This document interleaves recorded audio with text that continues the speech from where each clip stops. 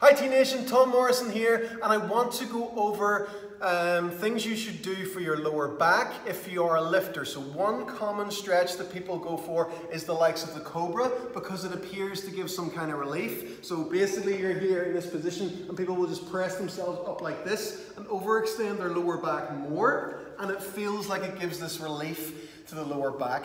All you're doing there is exaggerating an issue that's already there, and then when you go back to normal, that's where you're feeling that relief, okay? So something's already overextended, you're extending it more, so then your overextended doesn't seem as extended anymore, if you know what I mean. So what you want to be focusing on more, the reason as well you may find a bit of relief is because you're actually starting to stretch the front of your hip a little. So two things you want to focus on is the couch stretch, which is very easy to find, where it stretches up in the front of the hip so you can have the back foot up and you will stretch up in the front of the hip, and also the Pallof press. Now it's very important that you learn where to set your pelvis in this position. So you really want to try and get away from this overextended lower back position and start to train your muscles in the right way. So this slight tilt here and to sit up from the stomach in this position, you should feel your lower abs and then you can work on your Pallof presses, which are with the band, in that position. So train muscles the, where they're supposed to be and they will learn to rest there better and your overall performance will improve from that. Okay guys?